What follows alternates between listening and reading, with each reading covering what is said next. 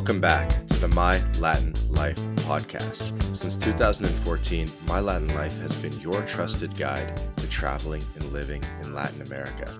Today's guest is Andrew Jernigan. He's the CEO of Insured Nomads, one of the world's leading providers of health insurance for digital nomads. Andrew, how's it going?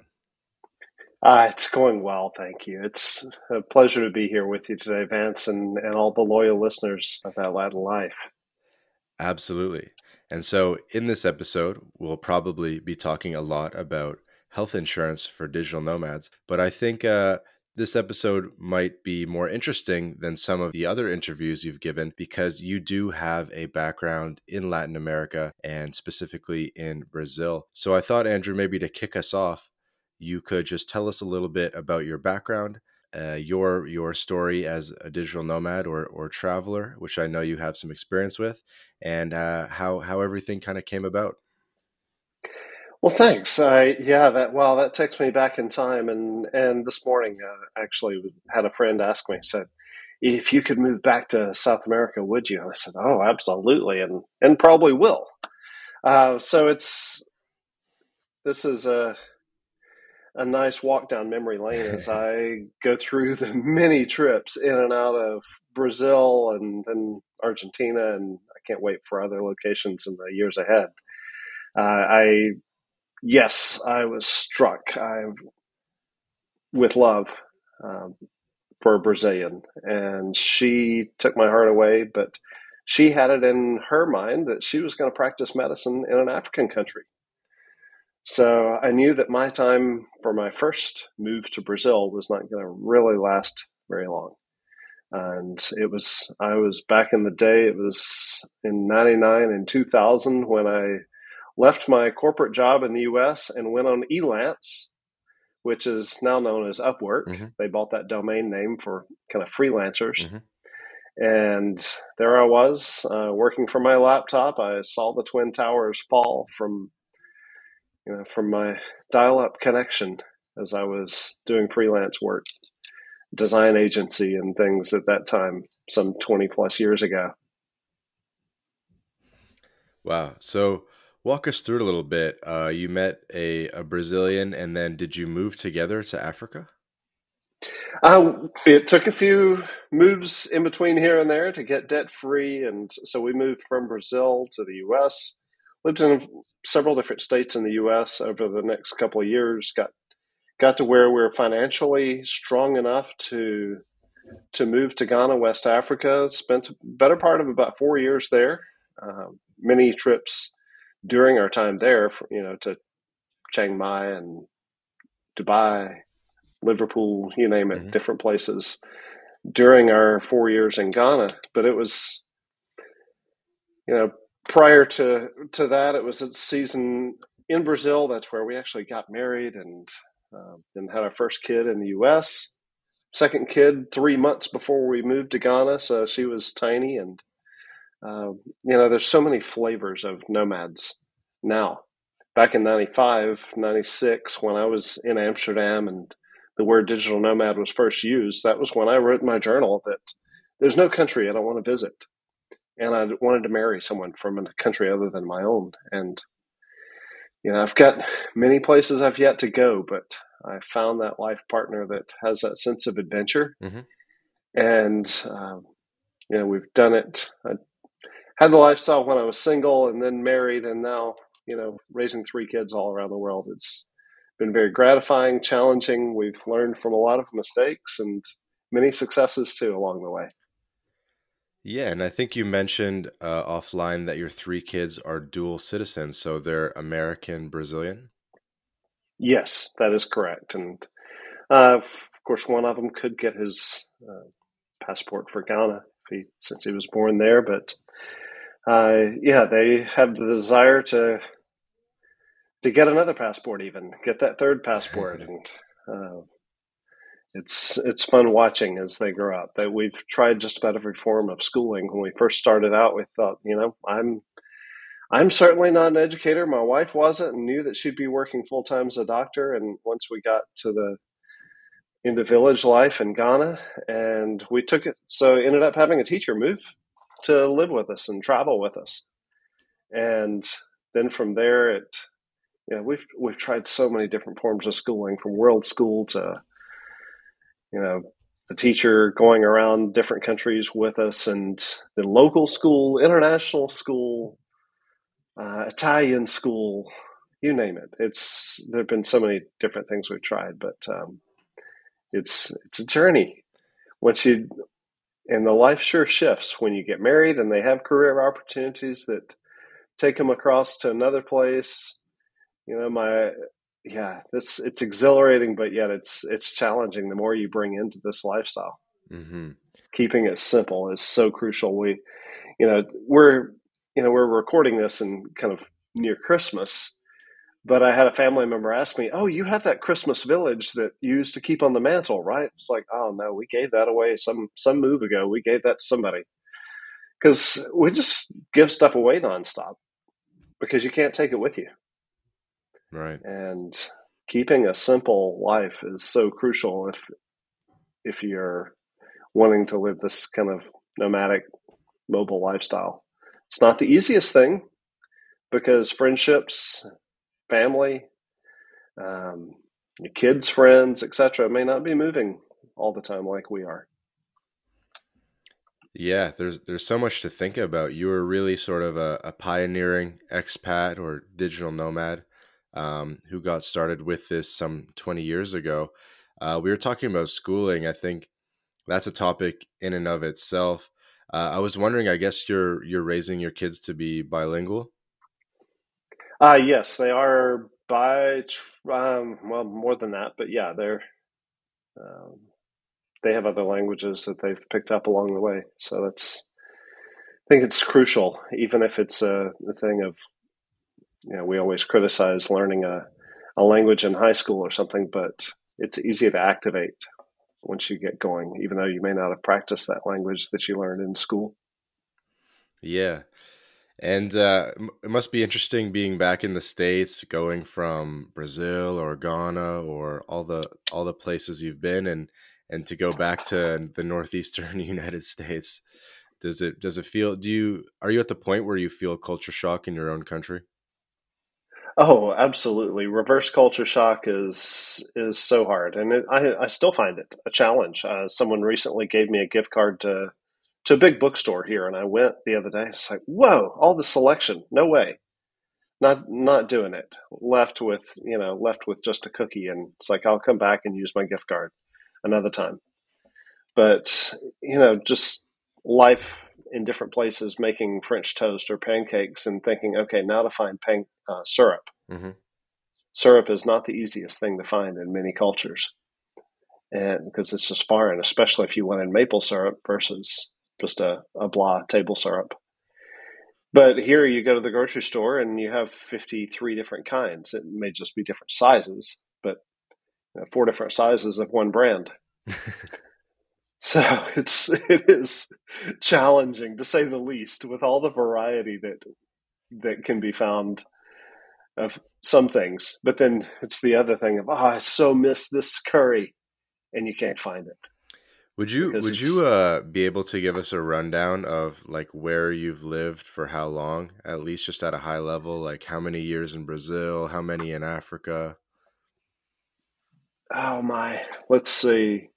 I, I may miss a few here and there, but uh, my first first time to go outside the U.S. was to the Netherlands in Europe. I spent a better part of a year in Amsterdam. Loved it.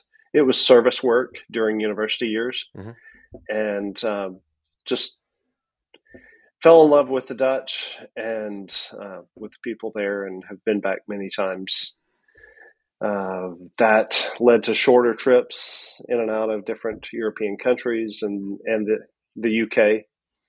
Uh, went back, married with two kids, uh, lived in the UK for a season while my wife got another postgraduate degree.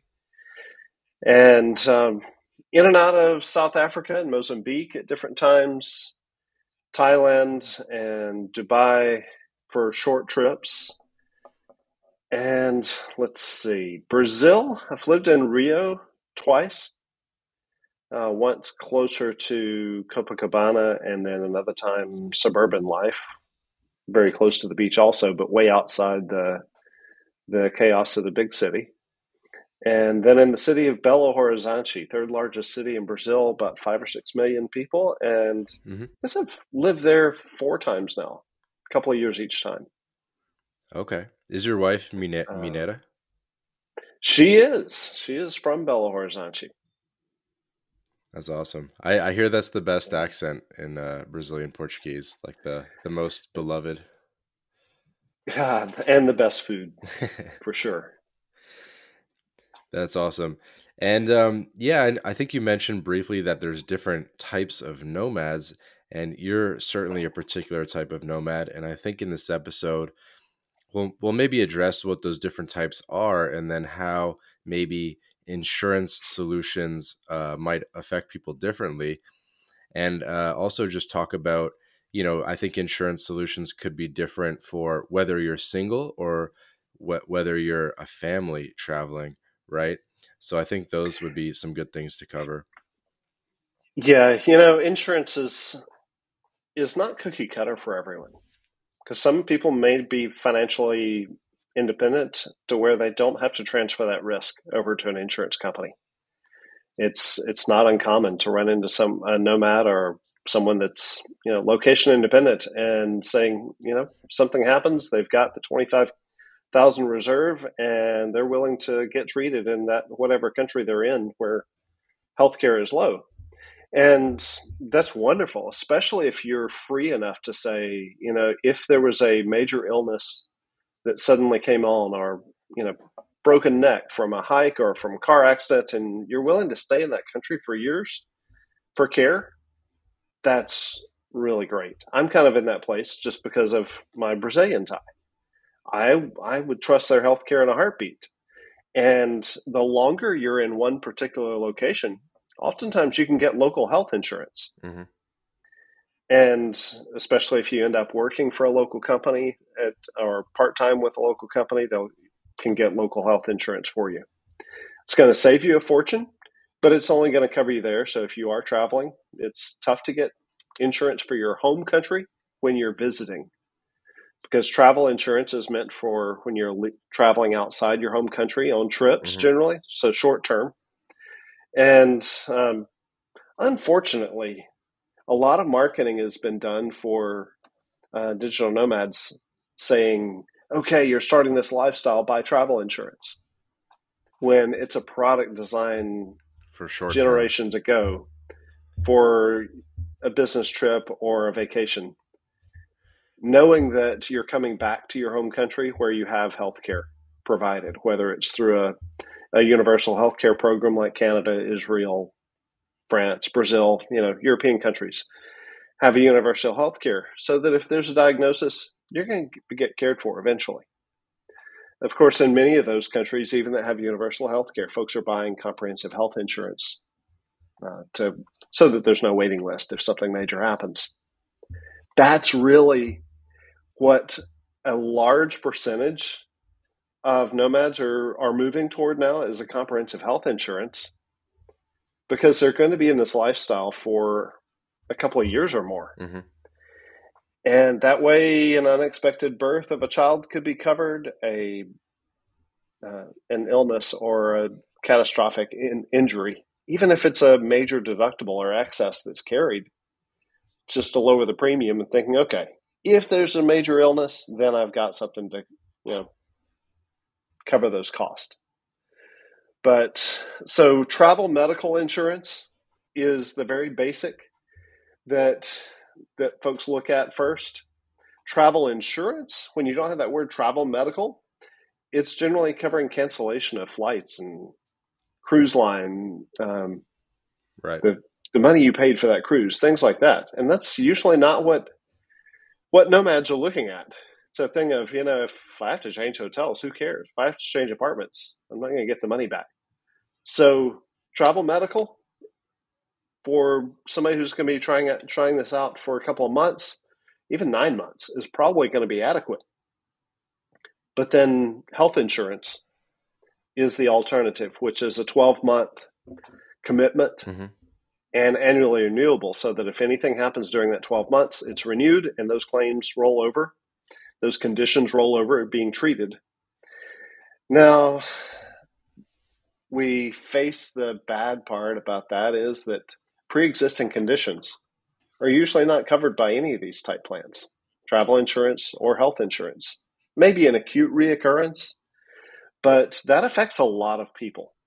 Whether it's you know someone who's been diagnosed with a mental illness uh, something they need treatment for that may be excluded from a policy just because the cost of treatment for it in um, Indonesia or Malaysia or you know Paris, if there were, was a complication, would be more than the cost of the policy itself. So at times there can be exclusions. Myself, for instance, I had heart attack and bypass surgery when I was in and out of Mozambique. Jeez. And um, sure, it's a hundred and ten thousand dollar surgery.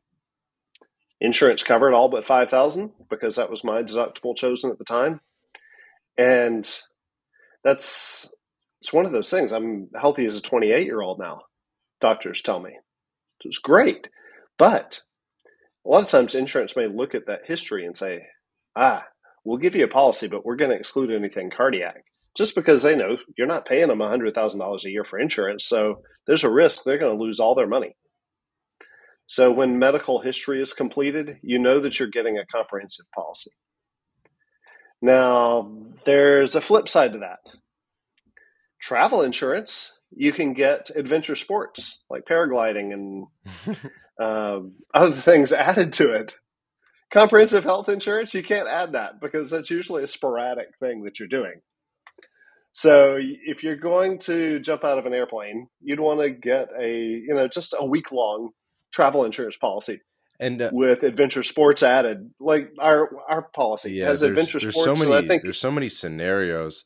Um, Right. If you if you had to just surmise in a sentence or two the role that insured nomads plays in the market and what you guys are bringing to the market that didn't previously exist a couple of years ago, what would you say? Oh wow, that's that's a fabulous question because we didn't come into the market just to provide another one of the same thing with a prettier cover. We don't need more of the same. And our industry has been quite backwards for a long time. You know, it's it's sad when I go to a conference and some vendor is telling me, "Yes, use our technology because people can fax it and you get it by email and things." It's like, "Oh yeah, insurance still works on a fax machine." And and it's a packet in the mail or a PDF of fine print. So to shift that, it's it's the simple things. Like if you buy a policy, you're going to get an email with a PDF that you sure don't want to read because it's so long. And logically so, because a lot is included. But if you're in a hospital bed four months later, thinking, okay, 800 emails ago, is this insurance? Can I remember what company I bought it from? I certainly don't know what number to call. So the easy thing of making where it's in your it's in your Apple Wallet, your Google Wallet, a digital card with your policy number, contact information for us. And that's just not done these days. Still, strangely enough, you can get your boarding pass, you can get your loyalty program cards in your Apple Wallet, but to get your your global insurance card there hasn't been done. Secondly, though, is to have an in-app experience for all these benefits and even a, an instant response button where you hit that and it's ringing a phone to our global assistance center and for security natural disaster you know safety aspects. We may not wait for you to hit that button. We may be calling you saying hey this happened near you. Can we relocate you? Can we change hotels because you're too close to where that incident happened? And that's all covered also aside from our insurance in a membership that we offer. So an in-app experience really doesn't exist in this in this space still. But within that, giving airport lounge access and unlimited mental health sessions, that's key. Wait, you get you get airport lounge access with insured nomads? You do. So our health insurance it comes for unlimited st- access to which uh, which network for our. Uh, we tap into for our health insurance. We tap into the Priority Pass network. Priority Pass, okay. Right, and for the travel insurance, it's for registered delayed flights and it'll get you and up to three traveling companions in a lounge, and that's through Instapass, which is a a very similar network. It's it's tapped into Lounge Buddy, which is actually owned by the same people as Priority Pass. Okay. So I have Priority um, Pass, so I'm familiar with it. Nice, and um, so a lot of people don't don't utilize their insurance, and they think, okay, why? Why am I going to do this? I never get sick. I never get injured. But we could say the same thing about, you know, not insuring our house. It's just not logical. We've got to care for our bodies just as much. So the changes we're we're doing with the travel technology to where there's GPS tracking, easy to turn on and off. You can keep it off, but if you hit that instant response button, it's turning turning itself on so that we can dispatch assistance if needed. But it's still a reimbursement based industry when it comes to global insurance, unless you're actually admitted to a hospital long enough for wires to uh, to be sent, which means you're admitted for about a week in a hospital. Then oftentimes it's still reimbursement, and people don't have the money for that many times, or they don't want to use their credit card to max it out for some hospital bill to get reimbursed by insurance. And so, so far, we've deployed this in our global health plans, and which is a Mastercard, insured nomads Mastercard, where we can drop funds on it, and you can pay at the clinic or hotel, or I mean, the hospital or our clinic, or reimbursement right then onto that card.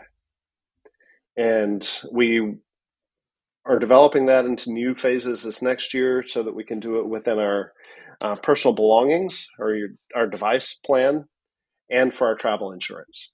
So this, those the fintech components there that we're introducing is totally unheard of in the industry. There's a travel insurance product that has it, but you have to you know you have to be Israeli or I think Greek to buy that product. This on a global scale with our health insurance is something totally new. But to include mental health sessions, and that's in languages all over the world. It's not just in English, but mm-hmm. you know, French, Spanish, Hindi, Arabic, lots of different languages.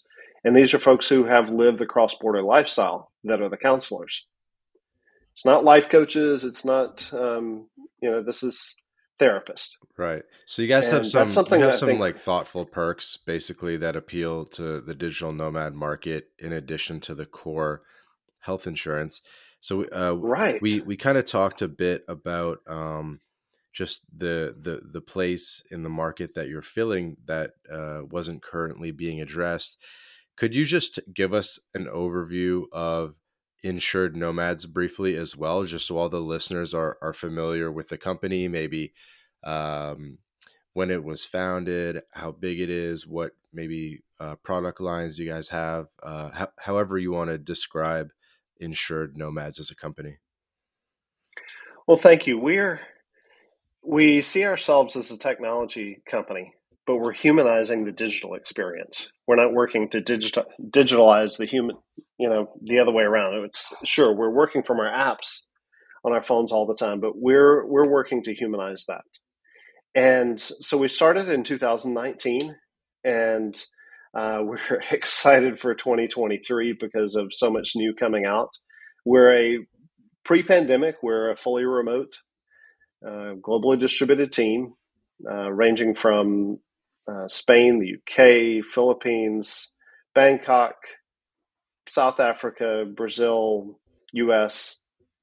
I may be missing a few countries where we have folks, but so we started in 2019. We're venture backed, and uh, our policies are uh, the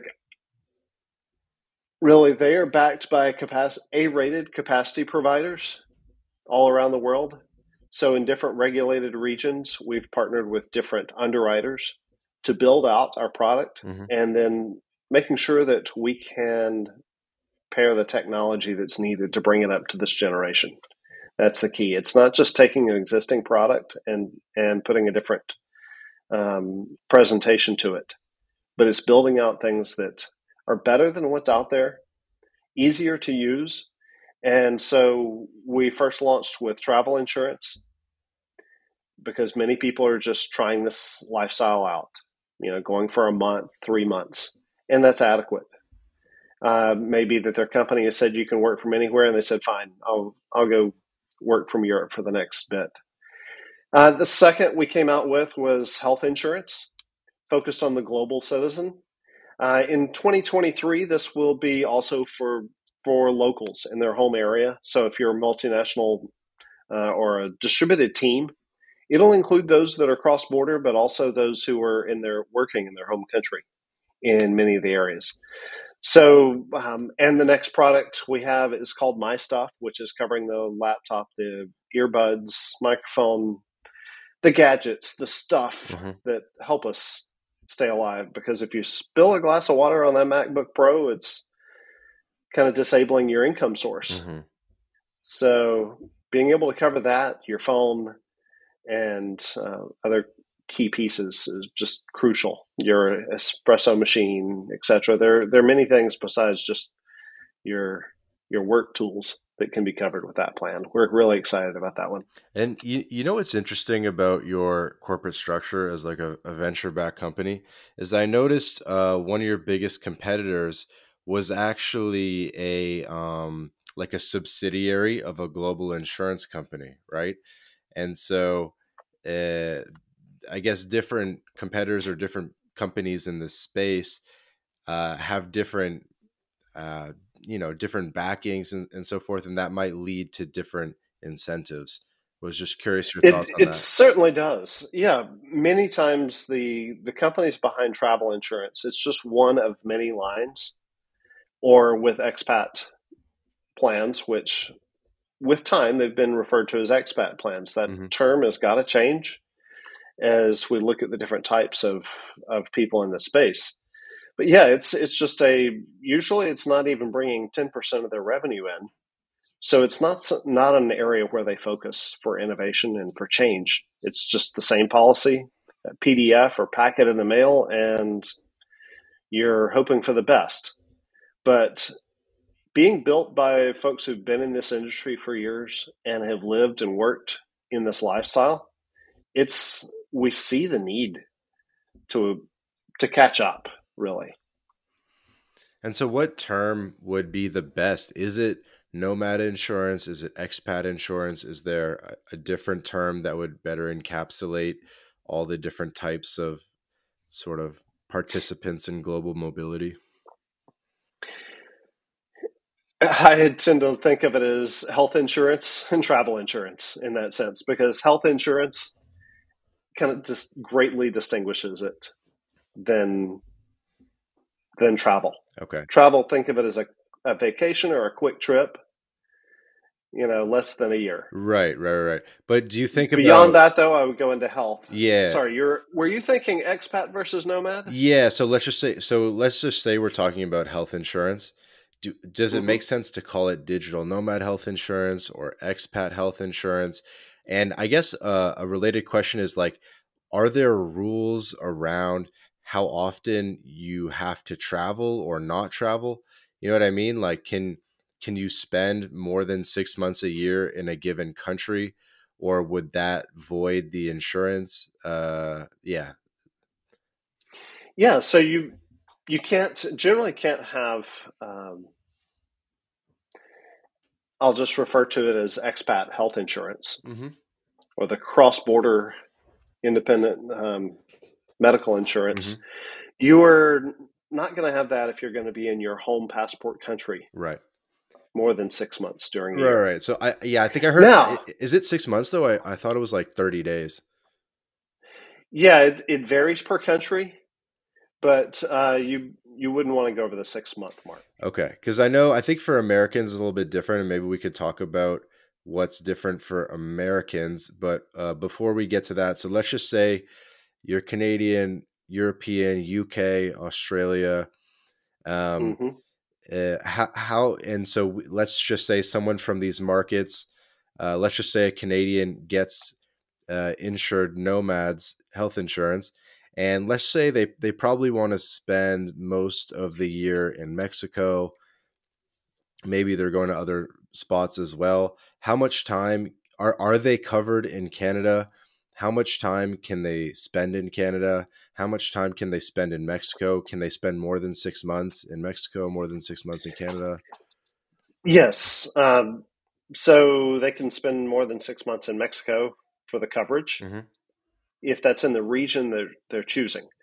Now, the Canadian may choose to exclude Canada and only choose the places he'll be. Okay, so you have to choose ahead. So that's an option. You can choose when you're applying, and people say, "Okay, look, I know that for the next 12 months, I'm only going to be in Southeast Asia and Latin and South America." So they may choose to only have those regions. Others may say, hey, I'm going to be in Portugal the next 12 months. So forget the rest of the world. That's what I'm going to choose. But uh, generally, traveling back to your home country, you would count it as you know under six months. Okay, that's pretty reasonable. And um, yeah, for the snowbird Canadian snowbirds that are often you know trying to hit that six month mark, they still would get that global health insurance to because it's going to cover them even when they're back home in Canada. Uh, that's yeah, that's a much cool. more expensive plan, but it's going to cover the knee surgery if it if something major happened and you know there's a fall and now there's going to be a surgery. You're not going to be stuck on a wait list. You can go to the hospital if you're choosing. And so, is it? Do you are you typically choosing on a per country or per region basis, or is it possible just to get like international coverage sort of blank. Yeah, you can certainly get worldwide coverage. Yeah. But there there are different countries. Of course, the world is aware of how expensive healthcare is in the US. So excluding the US, oftentimes if you exclude say Malaysia, your prices are going to go down a lot as well. There there are a few countries that you know if you can choose a region that exclude those countries, then your annual premium is going to go down. Uh, there's there's another factor though to consider, and that's the excess. The Brits, the Euros would uh, Euro- Europeans would express it as an excess. Americans and and a few other countries would say deductible. Okay. And so if you're willing to have, you know, many places they think a zero deductible. That way, if they're not responsible for anything before insurance starts paying for it, or will start reimbursing in full. But there are other cultures where it's no, I'll take five thousand on for myself, and then after that five thousand, insurance will pay. So that lowers the price you pay significantly. On travel insurance, you'll see them with a two hundred and fifty dollars deductible. That's one. It's so that insurance company doesn't have to pay out nonstop because the majority of claims are going to be less than that. If you break your arm in in Kenya or in Cape Town, in Rio or etc. in Thailand, you're not going to be paying more than a hundred bucks probably. It's and a basic place to put it in a cast. So the deductible keeps the insurance company from having to have expenses immediately, and it lowers your payment to the insurance. Mm-hmm. So for global health, cross-border health, expat, digital nomad, comprehensive health insurance, people choose a $500 deductible all the way to a 5000 just to figure out okay what can i afford? What am i willing to take on as my own risk? Yeah definitely makes sense. So i think maybe a lot of people listening to this um, they are digital nomads. Uh, they've they've spent multiple months abroad at, at different periods of time and they were just maybe too lazy to get health insurance. They didn't know that this digital nomad insurance exists. And uh, hopefully, this podcast is kind of jogging people's memory or inspiring them to, to finally get this area of their life handled. Uh, what are the steps that uh, people should take to um, uh, start thinking about this and take action on it? You know, I would. It's a great time of of year to really be thinking about this and weighing. You know, is is that a good financial decision? And I think if you're if you're in this lifestyle, you should have either travel insurance or health insurance. And with travel insurance, it's a five to 10 minute purchase. You just put in where you're going. It usually covers you worldwide. It just gives a framework there to say, okay, yep, you're going to Argentina, you're going to Colombia. Cool. Choose worldwide, excluding USA, and your price is going to go down. Choose a you know, $500 deductible is reasonable usually for most people, lowers the price for you, and your chance of having to use it is usually low. So you paid a little bit less by having a higher deductible. Some people say, okay, I'll take the first thousand on travel insurance. Mm-hmm. Then when you're looking at health insurance, it takes a bit more than 10 minutes because you're going to give your health history. Mm. And if you're answering no to every health question, like no, you've never, you know, haven't broken a bone, you haven't done this, you haven't done that, and or yes, but it was 10 years ago. You're going to be approved at the quoted price, but it is reviewed by a medical underwriting team. And so the process could take a week after that application. But if you answer it with, yes, but I'm taking this medicine for diabetes and I'm taking this one for that, they may come back and say, okay, the price is going to be higher and we're going to have to exclude this condition. Uh, there's the cool thing too is that if you're doing this with a team and you have multiple people, uh, you can often get a you know up to a 10% discount just because you have three different people oh, cool. working for the same company and the more people you add to that team the less they are concerned about medical underwriting. And so if there's a team member that has a you know a few other issues it's usually worked out in the group scenario. Yeah the group stuff's cool. so um, yeah I, I have a couple i have a couple questions. So travel insurance my understanding is if you have a pretty high end credit card, at least for Americans or Canadians, like let's say you have Chase Sapphire Reserve, that covers a lot of the health insurance stuff, right? Like flight cancellations and um, uh, some of that stuff, right? What what would a digital nomad insurance, travel insurance cover on top of those credit cards? Uh, interesting. Um, yeah, these the cards are really narrowing the benefits they're offering these days. And so I had a, a, dear friend of mine the other day that said, Look, I'm going to, I never buy it because I've got it. I've got travel insurance on my credit card. Well, he went to his card and realized that it covered cancellations, trip interruptions, lost luggage, right. baggage delay, right. things like that, but it doesn't cover anything for medical. Right. And so that's the Chase Sapphire in in that example. Chase Sapphire has all kind of great benefits for trip interruption and cancellation if you use that card to purchase it. But medical, so if you you know break your arm out hiking or something, isn't covered. Right.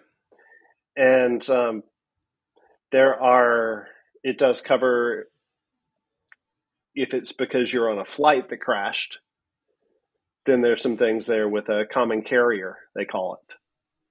Uh, so, you know, if you broke your arm because a flight crashed, that would be covered.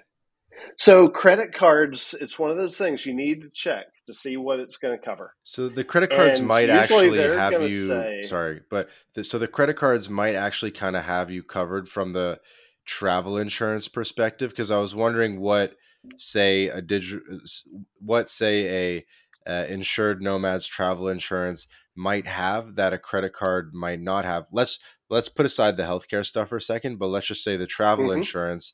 Is there something that we're not thinking about that our credit cards aren't handling? Obviously people who don't have access to these high end credit cards they're going to need insured nomads either way but people who do have these high end credit cards um, what what what do you guys have that uh, potentially those cars don't have that we're not thinking about? Okay, so one is the medical maximum. Credit card benefits, if they cover medical, uh, would be limited usually to fifty thousand. And if you're in a a wealthy area, if you go to a great hospital, something major happens, you're going to hit over 50,000. There's a different entrance for foreigners, there's different billing. Um, you've seen it living the nomad lifestyle. A cup of coffee could be one price for you, and if it's different price and a different cup for a local. So it's you know they're getting the paper cup and you're getting the porcelain. No, cup. it's true. Like Same like thing in, in Mex- medicine. in Mexico, a healthcare or a hospital will will charge more to foreigners for sure, even a, pri- a private hospital. So that's one of the biggest things is the amount of the benefit Okay. on a credit card. And you know, I saw one family, their 14 year old got sick, and they had health insurance. They paid, I think, six thousand dollars a year for their health insurance. This type comprehensive health insurance we've been talking about, and the claim ended up eighty eight thousand bucks. They ended up in in a hospital in Johannesburg, intensive care for five weeks, and that included the the air evac from a neighboring country into South Africa. None of that medical evac wouldn't have been covered, which it is covered in the in health insurance. It wouldn't have been covered with a credit card. Right, right, right, right.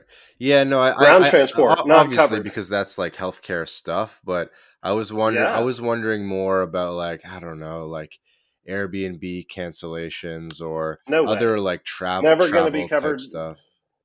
yeah, cancellation fees for Airbnb, things like that wouldn't generally wouldn't be covered. If they are, also, it's probably going to be onto your card, and then you fight it out to get reimbursed. Uh, so it's it's a it's a long process, you know. Okay. With delayed luggage, it may be fifty bucks, but you may have to wait for three months to get that 50, duck, 50 bucks per piece of lost luggage. Okay. All right. So let's put travel insurance aside. Um, uh, and maybe let's talk a little bit more about the medical stuff.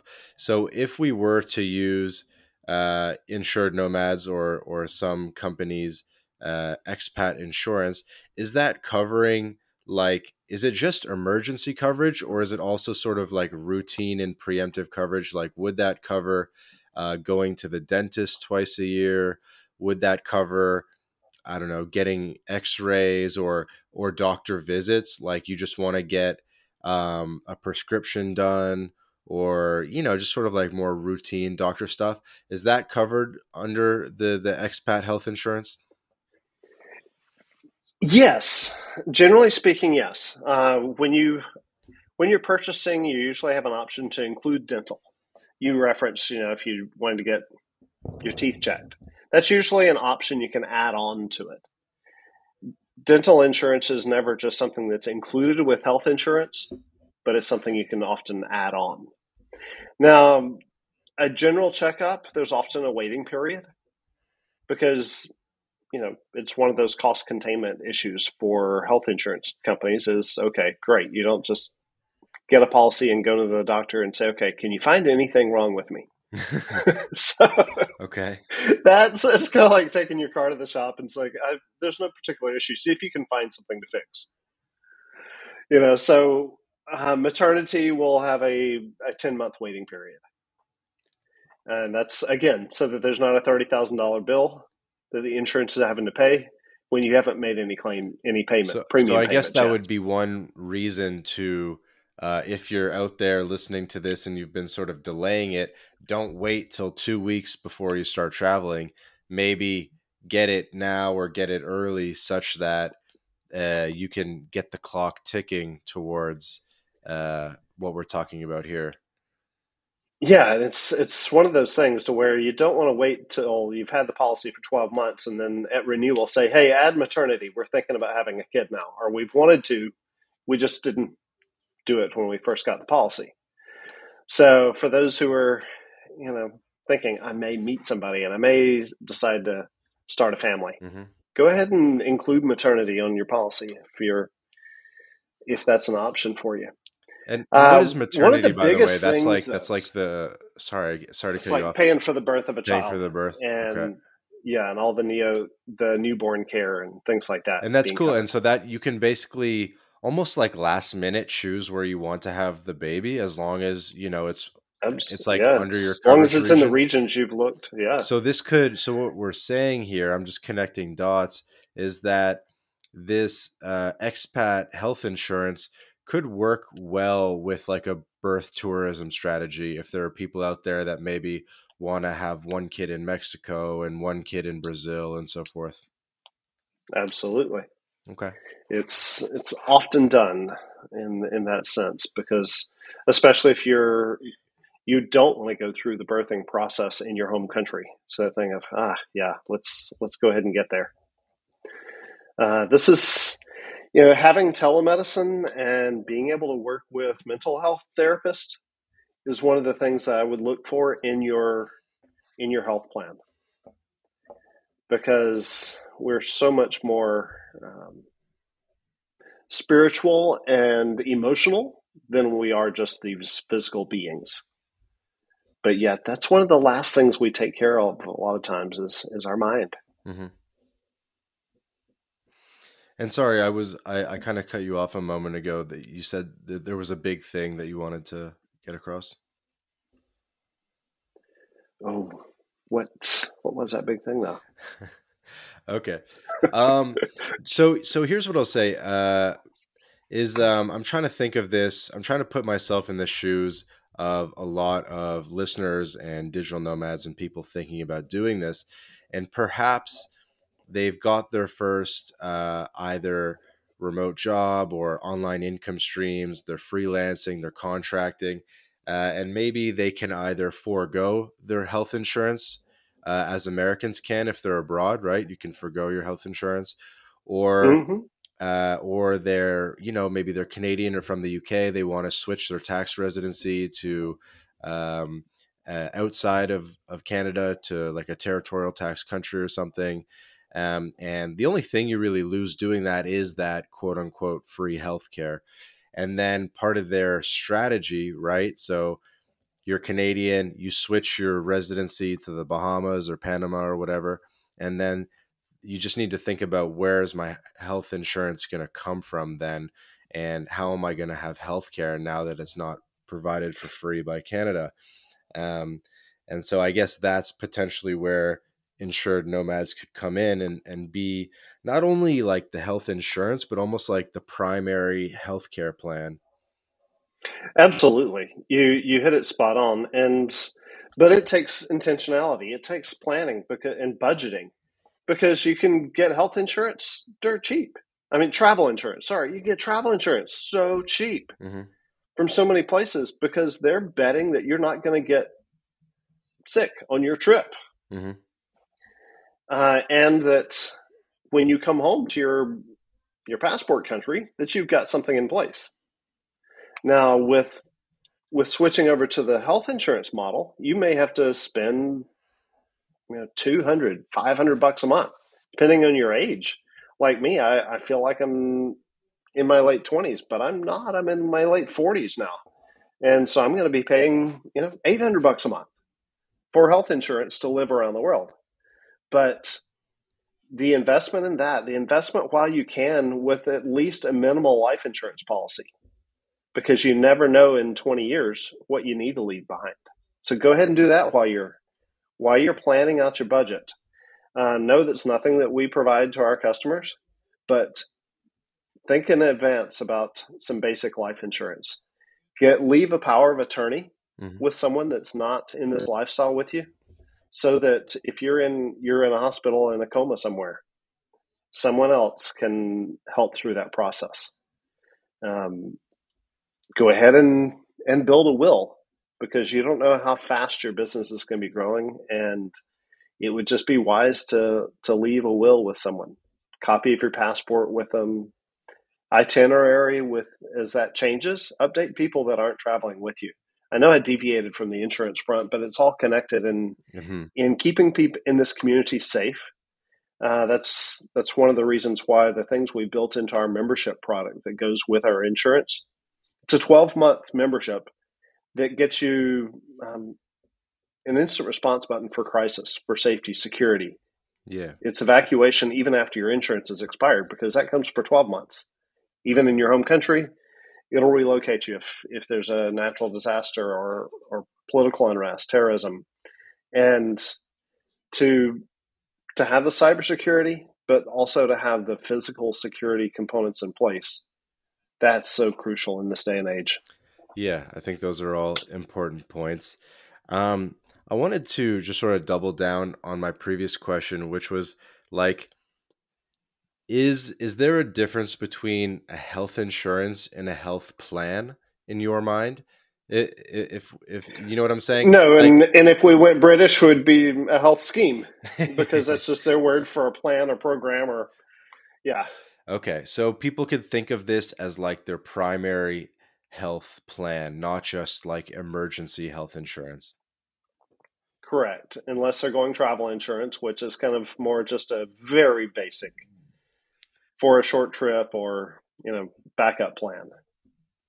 Okay, yeah, that that sounds great because I think that's uh that's uh, what people need to know is they need that um, sense of security from knowing that when they leave their home country that they have um, a strong health insurance plan that can be sort of more proactive and preemptive and it's not only when something bad happens but it's actually that ability to visit a doctor every six months or a year and um, uh, be able to you know get prescriptions like i said and um, and and things like that.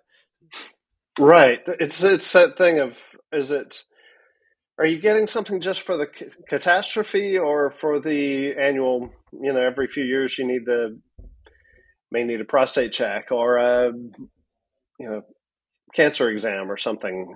All of us need to be planning. So when you say is it a plan? Absolutely. It's you said another key word there, being proactive. That's why I, I deviated there for a minute. It's because there's so many elements of this lifestyle that a lot of times we just ignore.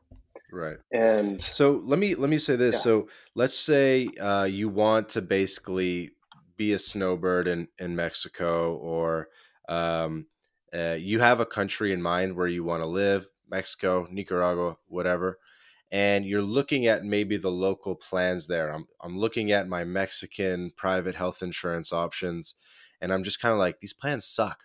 You know what I mean?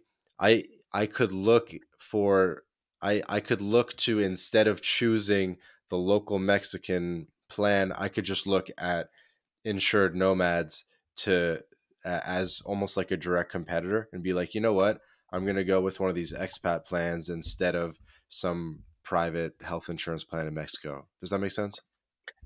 It it totally does, and that's what the average person has done for decades now when they've been the country manager of of a you know manufacturing company going to Mexico. They're going to Cigna Global. They're going to you know Allianz, one of the major giant companies, and saying, "Hey, help! Can you do it?" That was me in Ghana. We paid thousand dollars a month for our family of 4 mm-hmm. for about five years. Uh, with at the time Aetna International is who we had, and uh, they they serve tens of thousands of of location independent expat nomads you you name it whatever the title is around the world these giant companies do. And and it's only been as the spotlight has shifted to say oh wait there's more than the international assignee for manufacturers and tech firms. They're these folks who are just working from their laptops themselves and so a picture was made that, okay, they're on a trip. But many are not tripping unless they're going to ayahuasca. No, many are not tripping. They're really living this long term, year after year after year. So they're not on a trip. When we have claims that are in Europe by Europeans, we can have those paid in part by the government. So we get to file it with the government to help pay for the Europeans' care, even though they may not have been in their home country. There, there are a lot of layers to the questions that were in that set. Mm-hmm. Uh, in that, are we moving to where they're continental plans? Absolutely not, because it's a legal contract. Insurance is a legal contract, and it's generally administered where it was purchased, because that's where the company is based. Now, if the company is willing to have uh, be regulatory compliant in all those places, then yes. But things shift. Payment is one of the major solves with making it easy, and that's that's what one of the functions of having our insured nomads Mastercard is so that we can do it quickly. Uh, inside our health app, if your bank account info is there, we can have that payment to you um, instantly, practically. And so there are a lot of things where payment has been hold up. We still we can't. Mm. If you happen to injure yourself in North Korea, we can't transfer funds to that hospital. So yeah, there there's some limitations, but no, it's it's going to take at least another generation before insurance catches up to the way we work around the world, because it's it is one of the most tech apathetic segments of society because we're dealing with a legal contract. That's why it's that packet in the mail or a PDF attached to an email. Definitely. Um, so you kind of alluded to it there. I was hoping you could walk through what the what the process would look like for someone that let's just say we show up at a hospital in Mexico, we have an issue, I don't know, we have malaria or something, right? Are we are we paying out of pocket first?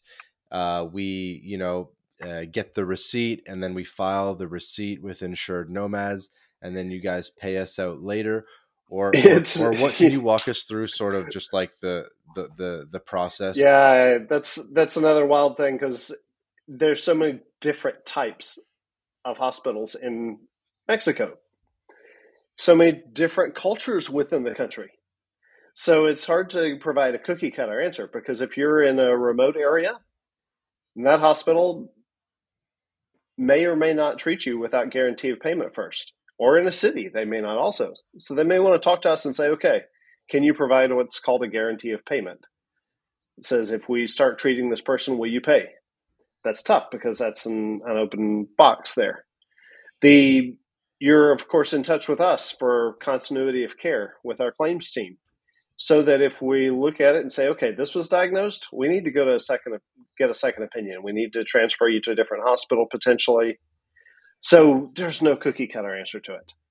But in most cases, the average claim is very small and the hospital wants to get paid before you leave, and wires can't take place right then. Mm-hmm. So the easy answer to say is since the claim is going to be small and they want to get paid before you walk away, then that means you'd pay and we reimburse you. Okay and um, so that's that's the simplest explanation because of how claims generally work. The catastrophic, the huge claim is rare, and when that takes place, you the person has been in the hospital long enough to where a wire can take place, or we can drop the funds on the insured nomad's Mastercard, where you pay it the business office of the of the hospital when you leave. I see. So I guess generally, uh, small stuff, pay it out, get reimbursed. Big stuff, you guys will step in. Absolutely. Uh, and that'll shift with that's one of the things we believe will shift with time as to where even the small things are taken care instantly as we deploy the our mastercard in more uses but this is new most companies don't have access to this technology and we're pushing the limits on it Okay. It must be it must be wild in your um uh what would you call it? Like your your claims center or whoever your like customer service people like just running like an international claims business. it's like it's like what? This guy was like skiing in Patagonia, this other guy's I don't know, in the deserts of Algeria, this other guy's like in the the jungles of Samoa. Who and just like you must, you guys must just hear like the craziest stories all the time.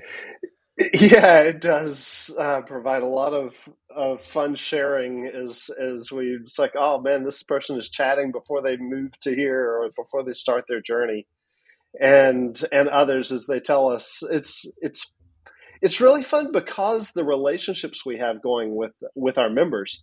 It's not just a transaction it's it's often conversation saying, "Hey, you know, just left this airport lounge, snapped a picture, tagged you guys. This was so great." You know, that kind of thing. So it's It is, but as our team is very multinational, very diverse, it just reinforces that also.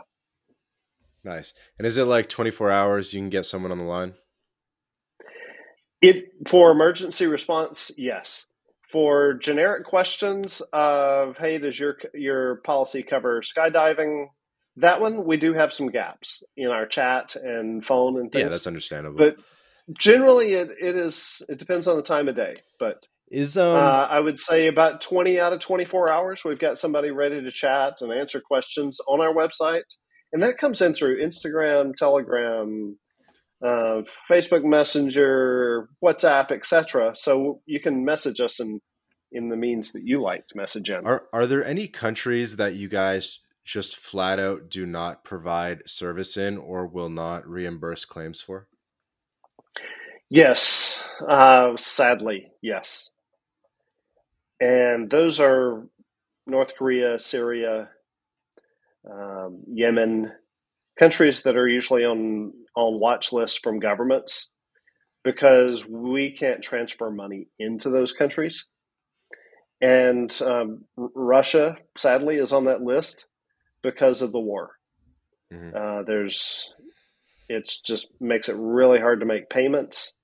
But for those who are going into Ukraine uh, as they rebuild in this next generation, we need a lot of digital nomads going into Ukraine saying, "Hey, I'm willing to work from there." So we're we're working to build out a policy that will cover you, even if you're in the war zone. Are there other countries where they're not sanctioned, but they're just like hard to send money to? Um, maybe like Vanuatu or I don't know Myanmar or something. Like, what what about those those far flung countries? No, they're really banking is has moved forward enough where hospitals have the means to receive funds. Hospitals and clinics have have dealt with foreign foreign patients enough. They have mechanisms in place. Okay, cool. Um, and so, uh, yeah, I, I guess we didn't fully get into a discussion about like all the different types of nomads, but I guess the the general idea is that you could get worldwide and it's going to be a little bit more expensive, or you could get like sort of country or continent specific, and that'll hopefully bring down the cost. Yeah, and and you know the resources that from the people that you have on your podcast, that is you know that Latin life, you get bring in great guests. So folks, tune in and listen here because listening through other people's experiences, learning through the stories they share, this is a great resource that's been built up here at that Latin life. Thank you. I appreciate that.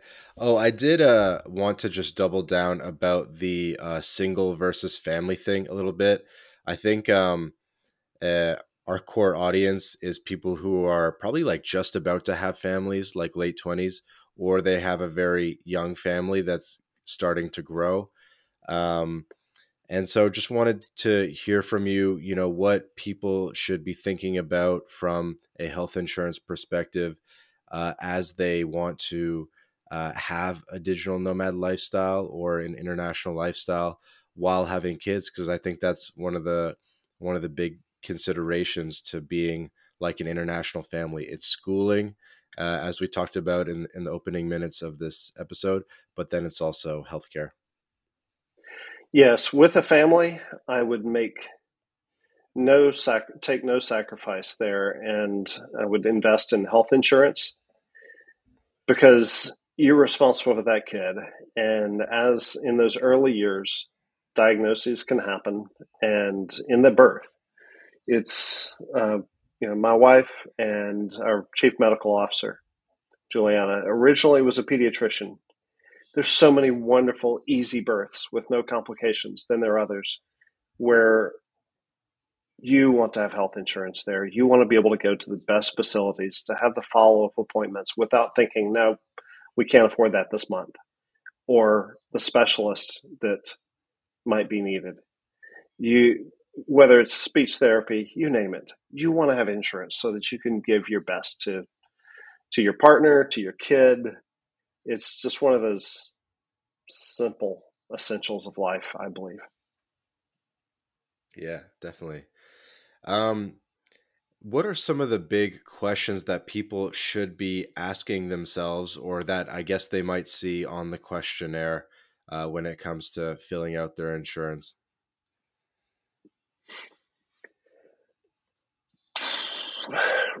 Let's see. Some of those questions are about things that have happened in diagnosis that you may have had.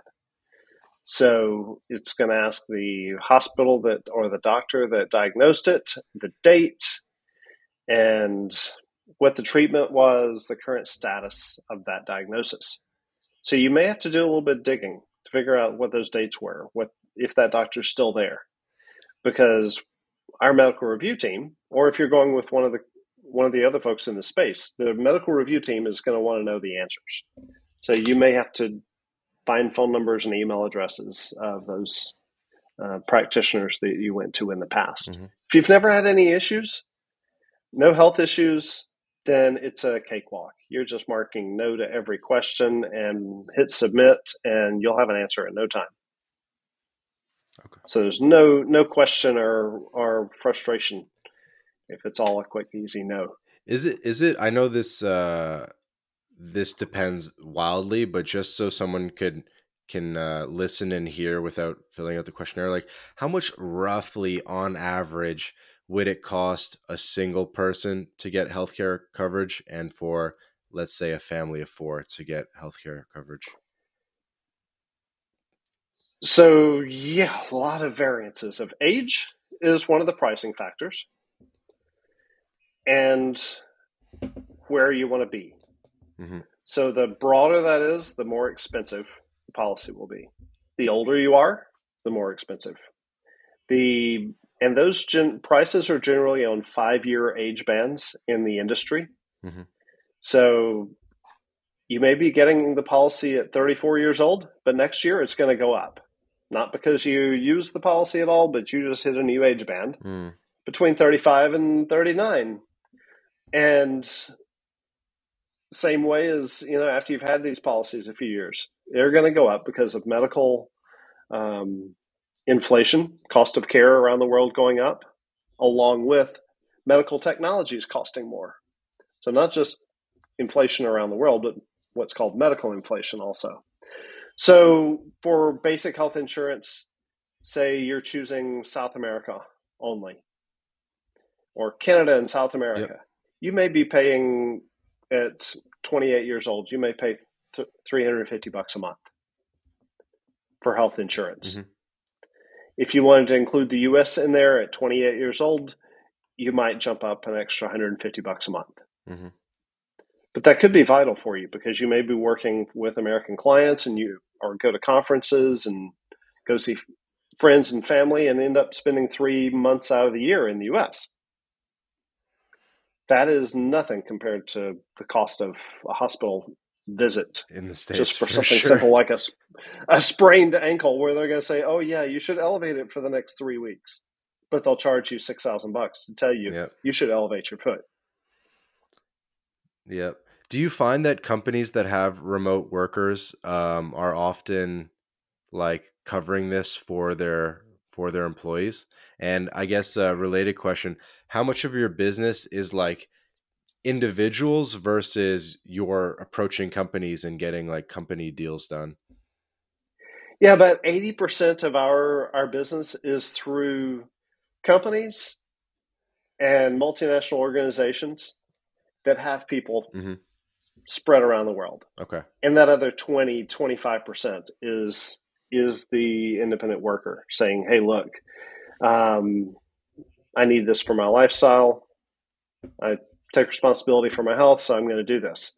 Now, having having it included, that's a lot in your prop in the potential employee's proposition too, saying, "Look, I'll take this job, but I want a global health insurance plan." Mm-hmm. And oftentimes it's like, okay, we'll do it. We pay through remote or Deel, and we'll give you a a card and you can put your health insurance on your card. You choose the plan. Then you can go wherever you want, get the plan. So we're finding it oftentimes where the companies are saying, you know, it's your choice where you get it.